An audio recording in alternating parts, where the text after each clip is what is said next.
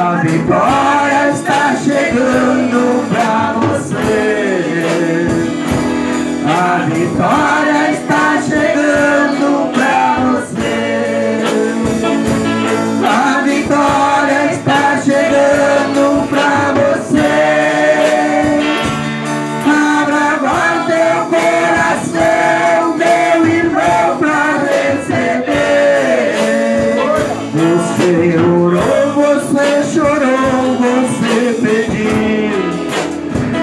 para o Senhor